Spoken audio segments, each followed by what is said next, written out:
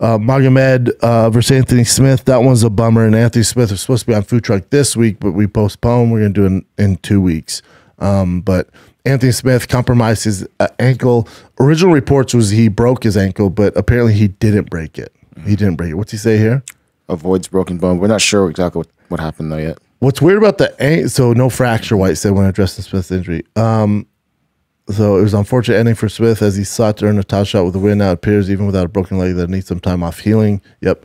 So, you know, I, I thought he was doing pretty well in that first round. It, was a tough for fight for him either way. Um, I did put money on him. I thought he was too big of a dog. I thought he had experience.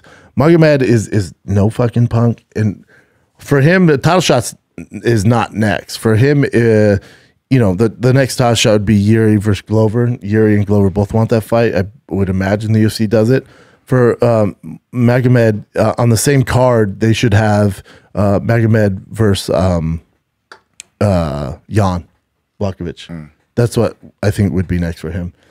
And again, I think the jury's still out on Magomed. You know, he's a fucking savage, but um, we don't know. The Anthony Smith one, we I thought that was gonna be a dogfight for him. Anthony Smith compromised his ankle. So what's weird too about the ankle is sometimes a break is better than whatever he did to it. Sometimes a break is either get surgery and get it done because your ankle has this weird memory. So when you spring it really bad, you're out way longer than if you just broke the fucking thing off. So um, hopefully Anthony Smith is all right, man. But I thought that was gonna be a good test for Magomed. Didn't know where he was at. I still don't know. Listen, he's a savage. He's got he's uh, Makhachev, but 205 pounds. You know, so um, I would assume a guy like Jan is next for him. He, uh, title shot's not happening.